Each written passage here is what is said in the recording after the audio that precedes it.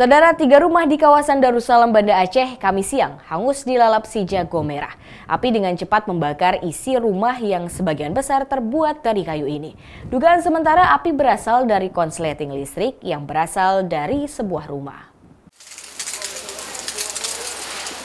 Kebakaran yang diperkirakan terjadi pada pukul 14.30 Kamis siang ini menghanguskan tiga rumah di kawasan Darussalam Banda Aceh.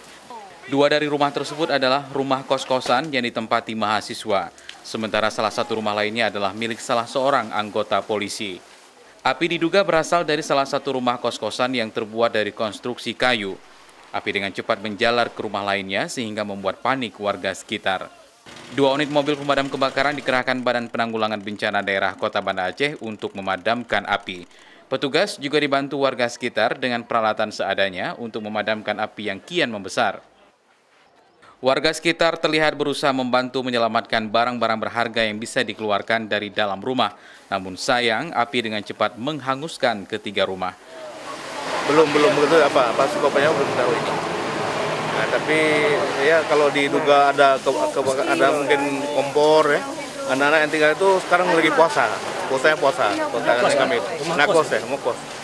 Satu rumah kos, satu lagi rumah dari perwira polisi Polda nih. Satu jam setelah kejadian, petugas berhasil memadamkan api yang telah menghanguskan seluruh bagian bangunan beserta isinya. Dari rumah ini, Pak Jati.